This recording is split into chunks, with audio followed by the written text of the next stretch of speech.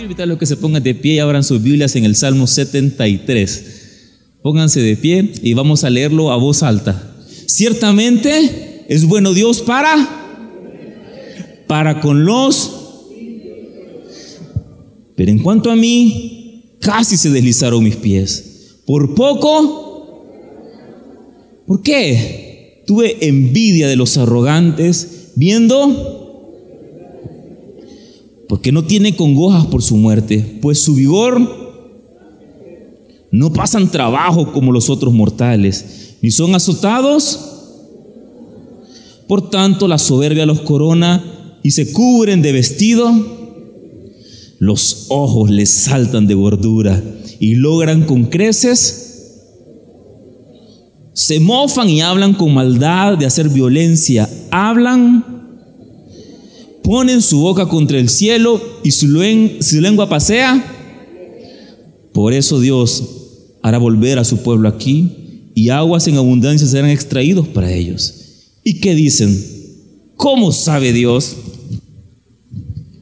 y hay conocimiento en el Altísimo. He aquí estos impíos sin ser turbados del mundo alcanzaron. Verdaderamente en vano yo he limpiado mi corazón y he lavado mis manos en, pues he sido azotado todo el día y castigado todas. Si yo dijere, hablaré como ellos, he aquí a la generación de tus hijos. Cuando pensé para saber esto, hasta que entrando en el santuario de Dios comprendí, ciertamente los has puesto en deslizadero. ¿Cómo han sido asolados de repente? Como sueño del que despierta.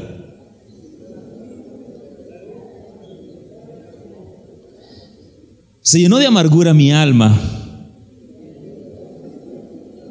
Tan torpe era yo que no entendía.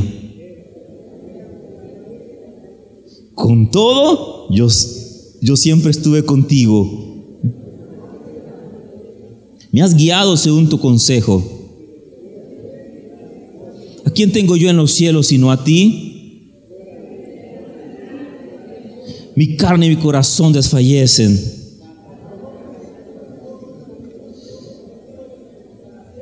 ¿Por qué aquí los que se alejan de ti perecerán?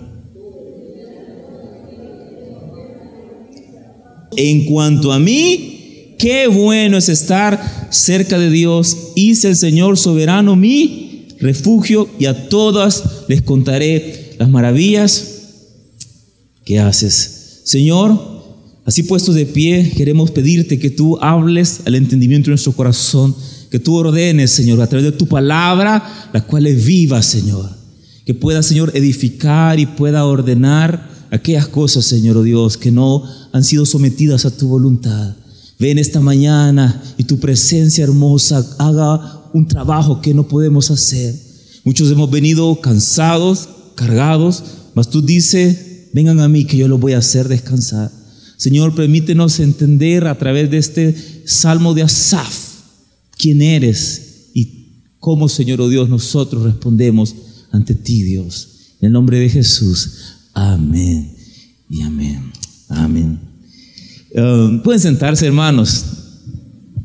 Ah, solo me hizo, hizo, falta decir en el nombre del Padre, del Hijo y del Espíritu Santo, leemos la palabra de Dios. Pero como no estoy muy acostumbrado, se me olvidó la liturgia, pero a veces cuando voy a predicar otras iglesias, um, me, intento ocupar todo, así como lo hacemos, como acabamos de hacer. Yo quiero hablar de Odisea. Odisea no es una definición bíblica, pero sí es una rama de la filosofía que, eh, que combina el, Dios, quién es Dios, su naturaleza, su carácter, su bondad, con las situaciones del hombre y cómo, cómo un ser santo divino afecta nuestra realidad, nuestra cosmovisión de, Odisea es entender los atributos de Dios, es filosofar quién es Dios y cuál es su relación con el destino del hombre. Y eso es parte de una nación de hombres pensantes, hombres libres. Dios le hizo libre para pensar y muchas veces tendremos a poner en duda de la bondad de Dios. Tenemos a poner en duda eh, la, eh, la, fidelidad de Dios o la bondad de Dios hacia nosotros. Eso es natural, es parte, usted tiene un cuerpo que está eh, caído, una naturaleza en pecado, y no logramos comprender todo lo espiritual y no es, no, no se sienta mal, porque la palabra de Dios nos habla de hombres que, que, cuestionaban su situación, cuestionaban sus pensamientos, pero eh, meditaban y, y, Asaf, que es el autor del Salmo 73, más o menos hace como una tesis, hace un análisis de su situación, una conclusión y, una determinación. Yo quiero ah, invitarles a que nosotros aprendamos de Asaf cómo encontrar la belleza del Señor y cómo su voluntad es buena, es, es, es agradable, es perfecta para con nosotros. ¿Estamos listos? Amén.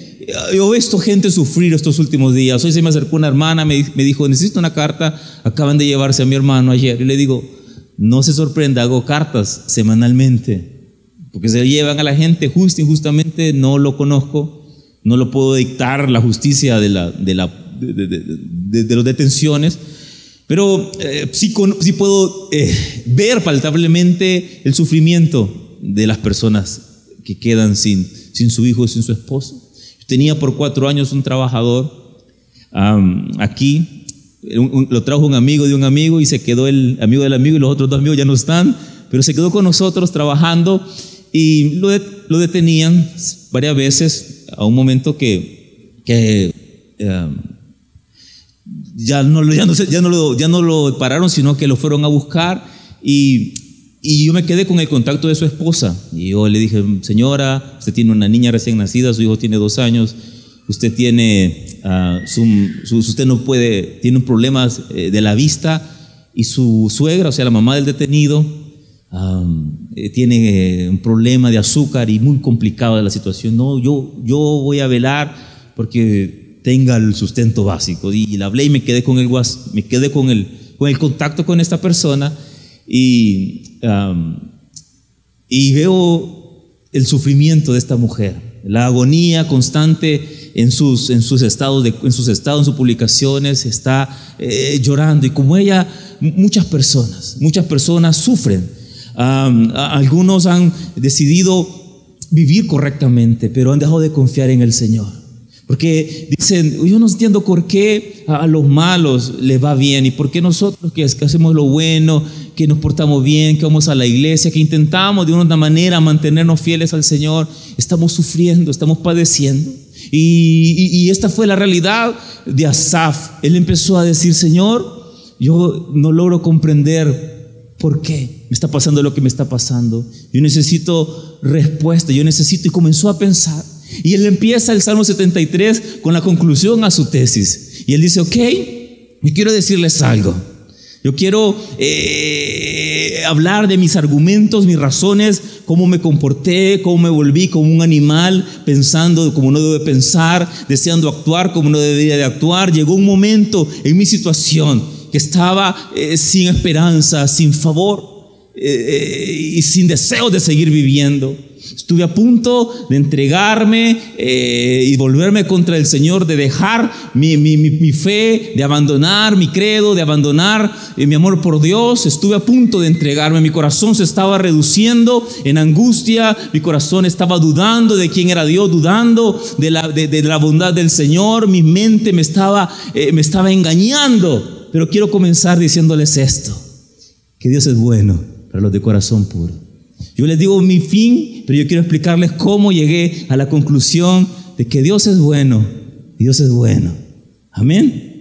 E, e, e, ese mensaje es una puerta de esperanza para aquellos que en algún momento su fe ha temblado o han decidido posiblemente no seguir obedeciendo a Dios, no confiando en el Señor y hacen actos donde dice, Señor, es que ya no, te, ya no confío. Porque eh, aquellos que en algún momento sus pies casi deslizaron, y sus pasos casi resbalaron. Asaf tiene la valentía de escribir con honestidad, diciendo sus pensamientos y sus razonamientos con un corazón sincero, diciendo en realidad era como un animal que no tiene sentido, que solo está avanzando, pero no tiene propósito, estaba, estaba necio. Y la Biblia constantemente nos está hablando de hombres que están en la cima, pero también están en el valle, están en necesidades, están abatidos. Nos cuenta acerca de lo que pasaba, lo que sucedía, lo que sentían y qué es lo que pasó. Y el primer eh, paso, eh, Asaf, eh, el autor de este salmo, nos plantea el problema. Y es más o menos así. Yo quiero contarles una historia a mí, que a mí me sucedió. Sin antes decirles eh, quiero contar lo que me ha pasado, pero sin antes quiero dejar claro que Dios es bueno. Y quiero explicarles cómo llegué a esta conclusión y les doy mi experiencia y lo que me sucedió. Todo comenzó a mí a salirme mal. Empecé a perderlo todo y no solo comencé a ser abatido, sino que yo comencé a perderme. Pero ¿saben qué? Pude regresar y quiero decirles cómo logré encontrar mi lugar, cómo logré regresar.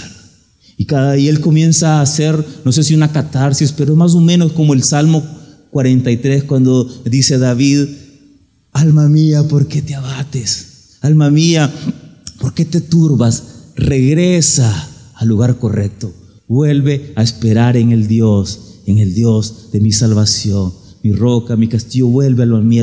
vuelve, hay un camino, alma mía. Estás en zozobra, estás eh, eh, la misma, te estás burlando, me estás eh, destruyendo y mi, espíritu se está ahogando, vuelve y regresa. Pues yo les quiero decir, Asaf, cómo volver al lugar correcto. Yo fui zarandeado, casi caigo. ¿Y saben cuál fue la causa? ¿Por qué casi caí? Sencillamente no había entendido cuál era el propósito de Dios para conmigo. Tenía un enfoque, tenía puesta mi mirada en el lugar incorrecto, estaba en la posición incorrecta, caminando en dirección incorrecta. Pero ¿saben qué? Yo, vivía piadosamente. Yo vivía una vida santa, mantenía limpio mi corazón y delante de mis ojos y mi conciencia yo era limpio de mis manos. Evitaba el pecado y ocupaba mi tiempo para orar, para meditar en la ley del Jehová. Me examinaba buscaba falta, confesaba, buscaba perdón y buscaba una vida que agradaba a Dios. Pero a pesar de todo esto que le digo, le estaba pasando mal, le estaba pasando terrible. El problema no era solamente que la estaba pasando mal y sentía dificultad y sentía eh, mi corazón eh, destruido minimizado, angustia, mi alma batida, mi espíritu muerte, sin esperanza, sin, eh, sin futuro. Sentía que Dios me había dejado y que Dios no, no, no me, no me hacía justicia, no me mostraba su bien, no veía sus promesas. Yo caminé, fui fiel y no pude ver esa bondad del Señor. Pero no solamente esto me, me destruye, sino que también tengo problemas porque los malos prosperan. Ellos aumentan sus riquezas y saben no solo les va bien, sino que viven como que no hay muerte, como que nunca van a rendir cuentas delante de nada y de nadie, viven como que no hay no hay un día, un fin, no hay muerte. Es más, dice, eh, eh, no se enferman, yo soy mal. Ellos ni se enferman y hacen lo incorrecto. Y mi familia y mi casa en, en, decadencia. Ellos no pasan trabajos como los mortales. No se afligen porque van a comer sus hijos. No se afligen por llevar provisión al hogar. Están viviendo sin azotes, sin, torturas. Y no solamente eso, dice. Son arrogantes. Hablan en contra del Señor. Engañan y blasfeman. Y es tal la magnitud de sus caminos que, sus ojos se le están saltando de gordura, o sea, están tan gordos, dice, están tan llenos de placer, le han dado tanta rienda que pueden vivir una vida mucho más allá de lo que su corazón desea, que los ojos, dice, se le están saltando. Yo no sé si será cierto, pero así dice Asaf, que los ojos se le saltaban. como estoy bien clásico, ¿verdad? Hay una figura literaria que se llama hipérbole que tiene que ver una exageración de las cosas. Eh, todos y todo el mundo, y si, solo habían como 100 pelones, ¿verdad? Pero todo el mundo. Entonces la Biblia tiene eh, figuras literarias y para nosotros las fábulas, pues en la Biblia se llaman parábolas. ¿Sí? Entonces, eh, pero el que se les saltaban, se les saltaban. Y su orgullo, dice, es como una cadena, o sea, tienen, viven orgullosos como una cadena, hacen lo malo y no les da temor. Y es más, cubren su vestido de violencia. Logran con creces todos los antojos de su corazón. Logran aquello que desean y mucho más. más de lo que su corazón desea o puede esperar, lo viven, hablan con altanería. Pero yo, dice Asaf, yo creo en Dios y, tengo mis manos limpias, mi conciencia tranquila, he dado mi corazón a meditar en la palabra del Señor, he decidido venir a la iglesia.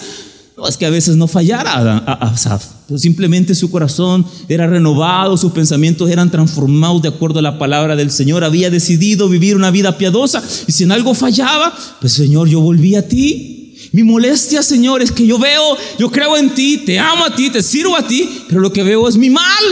Esto me tiene confundido, mi suerte y la suerte del malo. Señor, porque tú no te levantas y los castigas? porque tú no me bendices a mí? Todo está opuesto. Ay Dios, pero ¿qué he ganado yo, Señor, sirviéndote? ¿Qué he ganado yo, Señor, oh Dios, siéndote fiel a ti? Por eso se llama el mensaje de Odisea, porque es una, es una discusión filosófica de mis pensamientos, de los deseos de mi corazón naturales, correctos, con la voluntad de Dios y la soberanía de Dios para nosotros. ¿Estamos adentrándonos en esto? Sí, sí, amén. Yo he sido fiel al Señor con este mensaje. Fiel, fiel, fiel, fiel en transmitirlo. Yo creo en mi corazón. No es que yo busque el mensaje, sino que Dios, el mensaje me busca a mí. Y yo quiero ser fiel. Lo lograba comprender por qué tenía que compartirlo. Eh, fui fiel en el culto primero, o sea, lo compartirlo yo sé y logré comprender el fin eh, del, plan de Dios, así que me siento, ah, ah, me siento amado por el Señor y Dios les ama a ustedes y nos ama a todos y producirá una obra hermosa de nosotros esta mañana. Nos hará atractivos, nos hará bellos y transformará lo roto y lo corrupto en algo hermoso y algo digno de ser alabado. Amén. Así que usted eh, conéctese con lo que estoy diciendo. Yo predico poco, si se ha dado cuenta. Me voy rápido. Terminamos siempre a las 12. Así que los 20 minutos más que estaré hablando, nos conectamos y permitimos luego que Cristo haga aquellas cosas que nosotros ya estamos conscientes que no podemos hacer. Así que,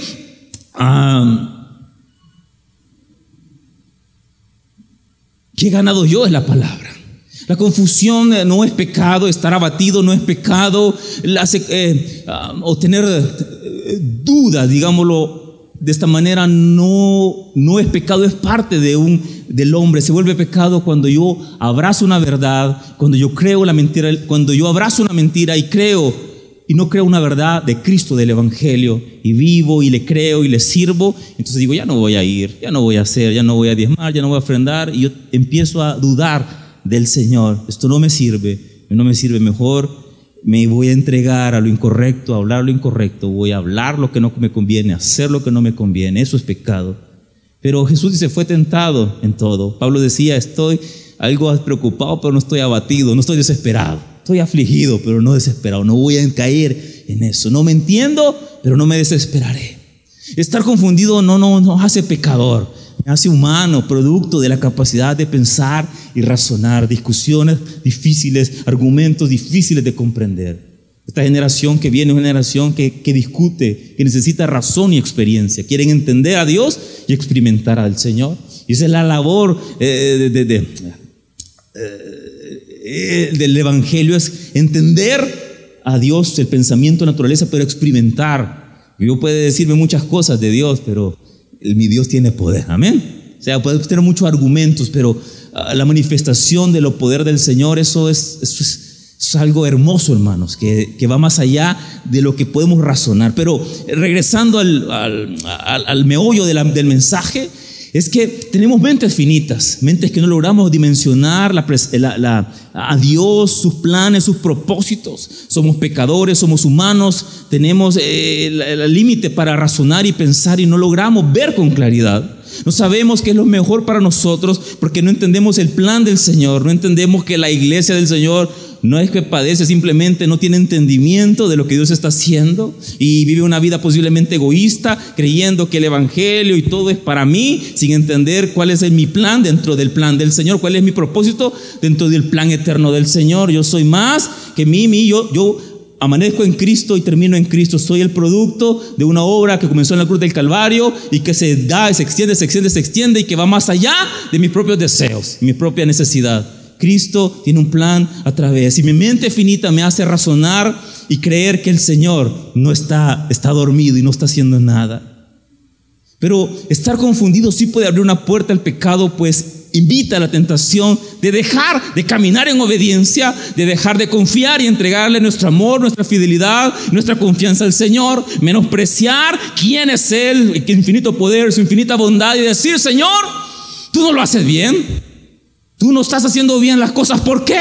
Si yo te amo, yo vengo a la iglesia, yo te sirvo, Señor, y mira los malos, cómo están, cómo están prosperando. La confusión invita a tentar y la duda me puede hacer entrar en pecado y abrazar una mentira. Por eso es importante reconocer, Señor, puedo caer en, en el pecado. Cualquiera que piense estar firme dice, Pablo, mire que no caiga.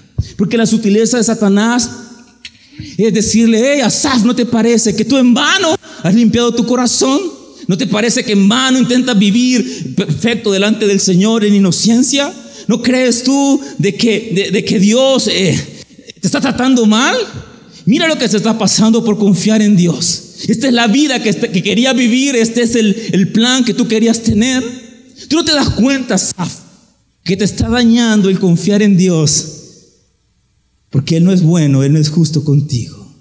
Pues la tentación entra por la mente, destruyendo la lógica, oponiendo argumentos para decir Dios no es bueno, como le dijo a Eva, y ustedes no van a morir.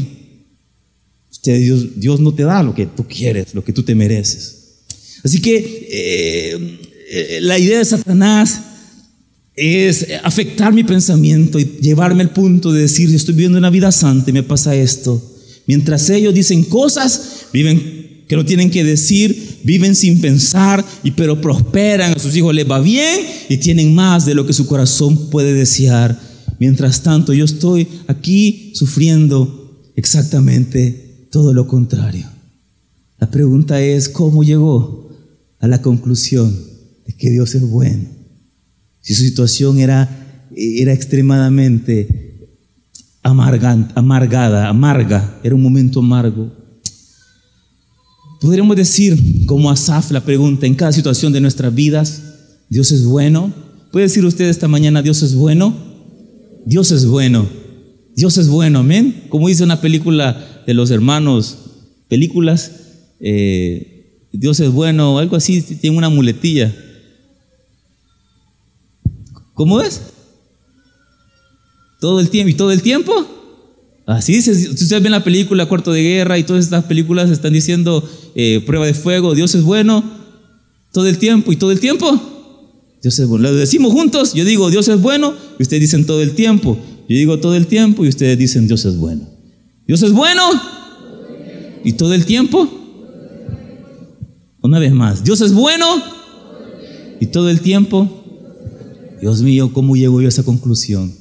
En cualquier situación y momento, entender que tú eres bueno, y que tú extiendes tu misericordia, tu amor y tus caminos son buenos, son agradables. ¿Cómo llego yo a ese fin de disfrutar tu gracia? Podríamos nosotros decir eso en cada situación, sin excepción, sin condición. Dios es bueno para los de limpio corazón.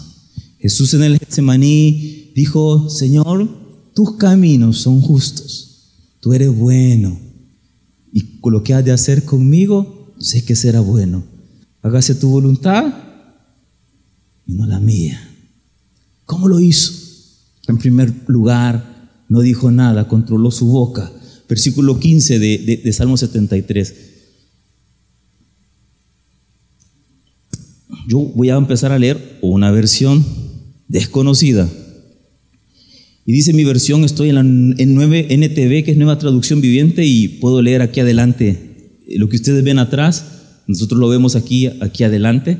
Y dice la, en mi versión, si yo realmente hubiera hablado lo que quería decir, si hubiera entregado mi corazón a maldecir y hablar lo que yo pensaba y actuar como yo quería, habría sido un traidor. Si yo hablara como ellos sin temor de Dios y actuara como ellos, he aquí defraudaría al cuerpo de Cristo y a los hijos del Señor. En primer lugar, guardó su lengua y no habló apresuradamente, impulsivamente.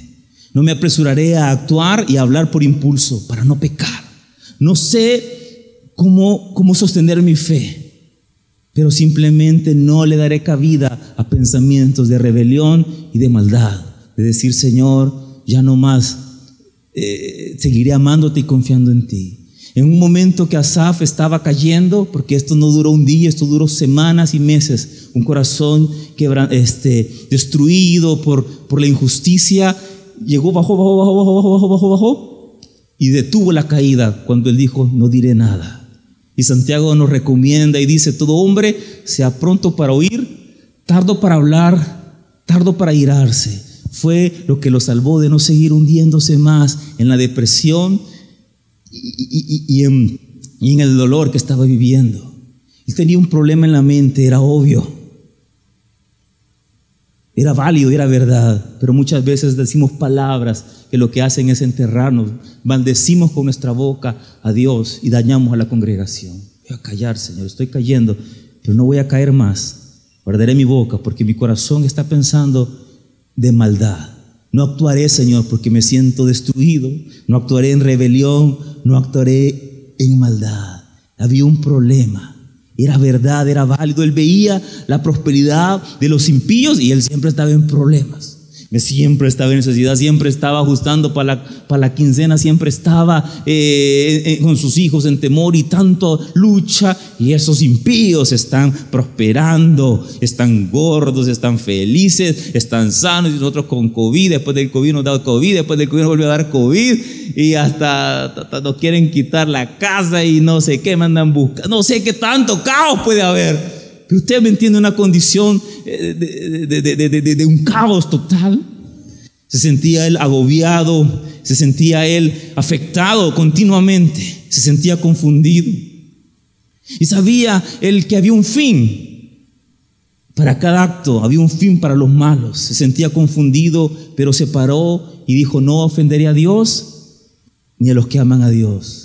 Porque no veré mi problema, sino entenderé que soy parte de una comunidad de hombres que afirman y su testimonio dice, vale la pena confiar y servir al Señor.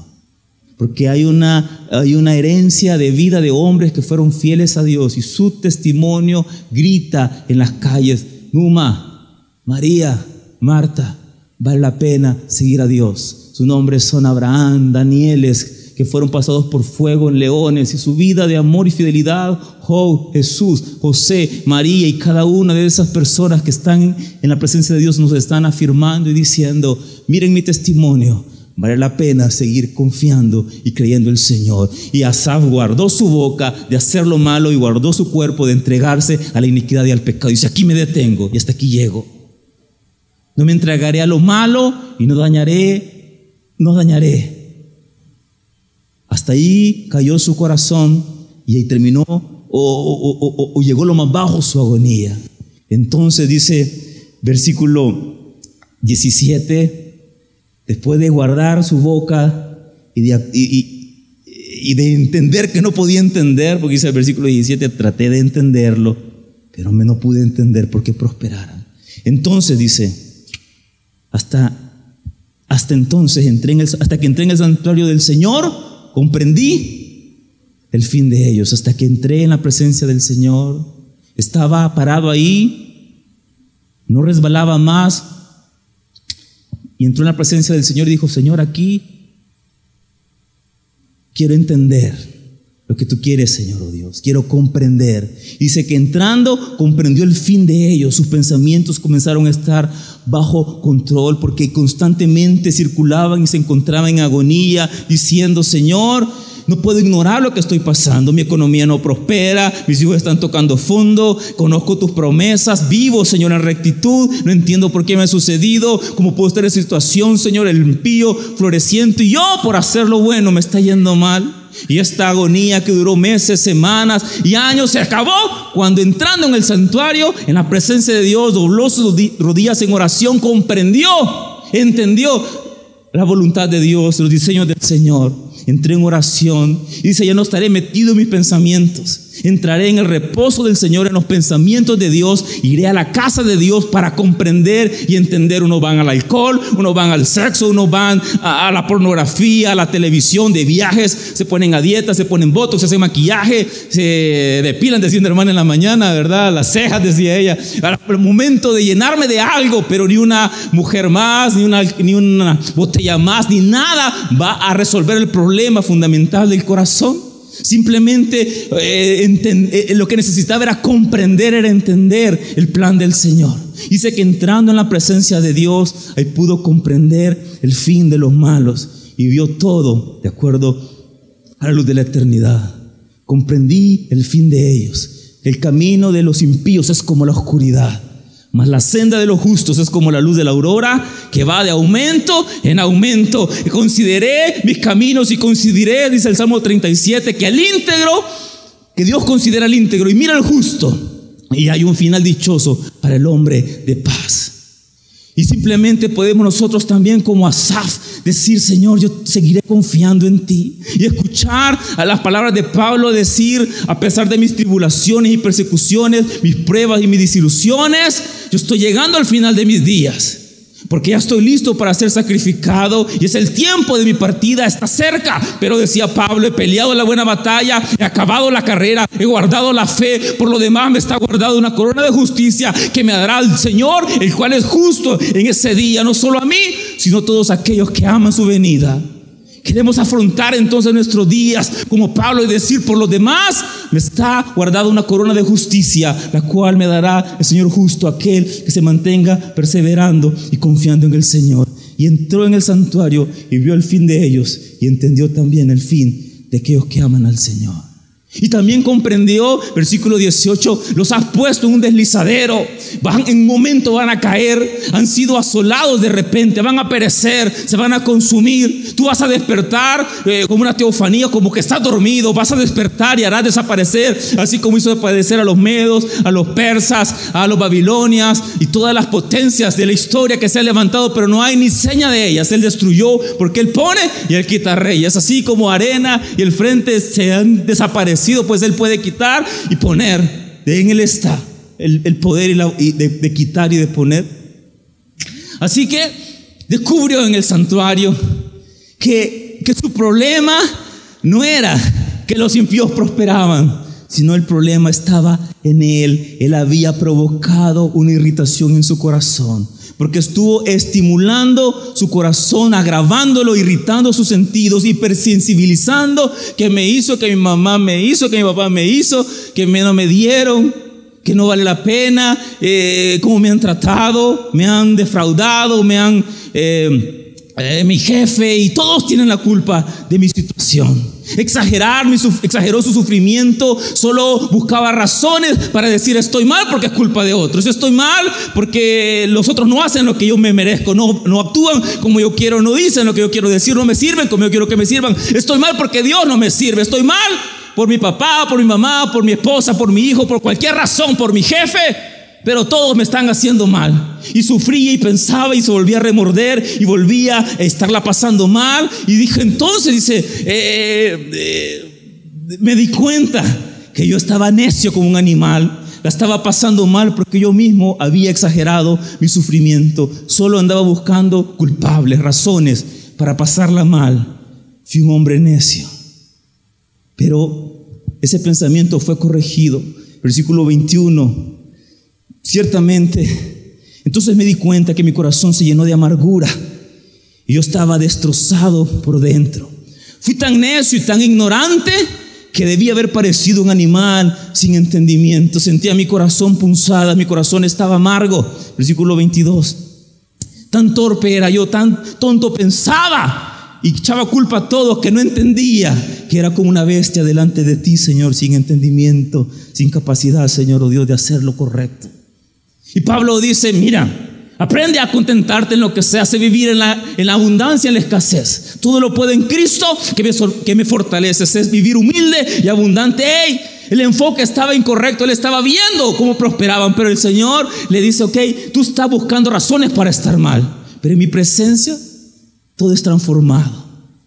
Una característica de un cristiano inmaduro Es que no entiende que los caminos de Dios no son sus caminos y siempre está resintiendo el trato de Dios. Está viendo culpables de su condición sin entender, Señor, yo quiero caminar en tu disciplina, en tu, en tu proceso, porque a los hijos que amas, tú corriges. Entonces dice, sucedió lo que tenía que suceder y me ayudan con el piano.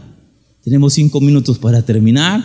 Posiblemente para mí es la parte más ah, importante porque concluye todo lo que hemos hablado.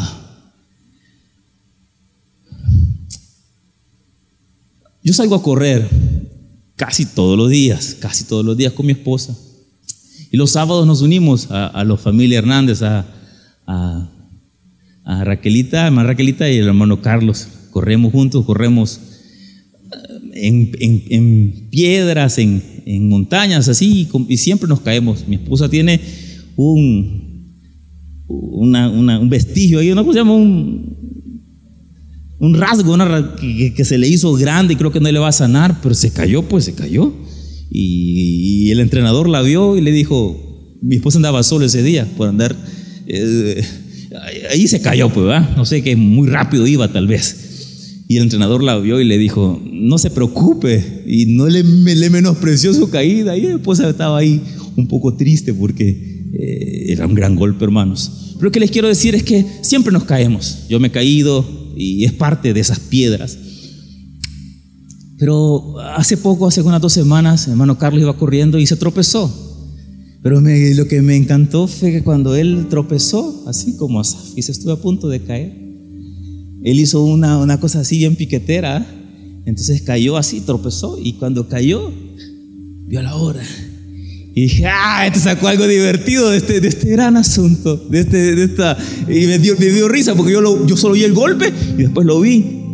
El tiempo que iba corriendo, ah, muy bien, dijo, y siguió corriendo como que, como que no se había caído. Ya, ya le ha pasado a ustedes eso, ¿verdad? Que no se cae y la hace como que no pasó. Pues eso es lo más hermoso de Asaf que llegó un momento que entrando en la presencia del Señor encontró la miel y lo dulce en medio de esa caída. Versículo 23. Sin embargo, me di cuenta que siempre estuve en tu brazo. Que cuando caía tú me tomabas de la mano, Señor. Cuando iba a resbalarme tú me tomaste. Ahora entiendo por qué no caí. Porque tú me sostuviste y tú me enderezaste, Señor. Estuve a punto de ofender tu presencia me detuvo de hablar iniquidad, de entregarme a lo incorrecto. El Salmos 37, 24 dice que el hombre recto, cuando cayere, no quedará postrado, porque Jehová sostiene sus manos. Y versículo 25, Asaf se levanta y dice, ¿a quién tengo en los cielos sino a ti? Y fuera de ti, Señor, comprendo ahora que no deseo nada en la tierra. Mi carne y mi corazón podrán desfallecer, mas la roca de mi corazón y mi porción eres tú para siempre. Cuando las cosas le fueron mal, cuando realmente llegó a lo último, cuando no sabía a dónde ir o a quién recurrir, cuando necesitaba consuelo, fuerza y seguridad algo a que aferrarse encontró, que nada lo puede separar del amor del Señor, aquellos que tienen un corazón recto y viven para hacer su voluntad.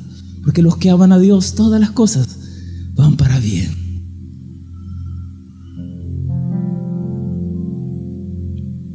Hay un vacío en su vida, pero no tiene fuerzas, hay caos, hay dificultad, porque estoy lejos del Señor. Porque cuando entro en la presencia de Dios todo toma sentido, todo toma color y todo toma rumbo. Y Pablo decía en Filipenses, si me preguntan cuál es mi mayor deseo, es conocerle a Él. Porque Asaf entró a su presencia y dijo, ahora estoy en una posición diferente, puedo estar quieto y confiar en el amor del Señor. Versículo 27, porque aquí los que se alejan de ti perecerán, pero tú destruirás a todo aquel que de ti se aparte. Pero en cuanto a mí, el acercarme a Dios es el bien. Porque he puesto en Jehová mi esperanza para ser yo un predicador, un contador, un anunciador de sus bondades y su misericordia. Es asombroso ver cuán bien le hizo a Saf entrar en el secreto del Señor. Le dio entendimiento y una perspectiva diferente. No el problema, sino quién estaba ahí para amarle, para sostenerle. Vio el valor de poner su confianza en Dios. Y dijo, ahora entiendo, Señor, que tú eres confiable y se puede confiar en ti. Asaf resolvió estar cerca de Dios y seguir viviendo tan cerca como sea posible. ¿Por qué? Porque Dios es bueno y los que se alejan de Él van a perecer. Dios permita que usted al enfrentar el futuro pueda determinar en su corazón y decir, pero yo me acercaré a Dios porque para mí Él es lo mejor. ¿Quiénes necesitan este mensaje? Los que estén confundidos, desesperados, atribulados, los que estén desanimados, los que se sientan solos, defraudados, amargados, abatidos, vacíos, los que se sienten como Asaf. Dios, ¿por qué le va bien y a mí no? Pueden parecer bueno, puede parecer buenos a los abatidos, irse en la melancolía, encabilar en sus dolores, disipar sus penas en la vanidad. Pero yo me acercaré a Dios, pues para mí eso es lo mejor. He corrido años y no veo la salida, mi economía, mi familia, mi salud, todo está en mi contra. Pero yo me acercaré a Dios, pues es lo mejor para mí. Tú me guías, Señor, en tu consejo y me conduces a un destino glorioso. ¿A quién tengo yo en los cielos, sino a ti? Y te deseo más que cualquier cosa en la tierra. Puede fallarme la salud y debilitar mi espíritu, pero Dios sigue siendo la fuerza de mi corazón y Él es mío para siempre. Cierre sus ojos. Señor,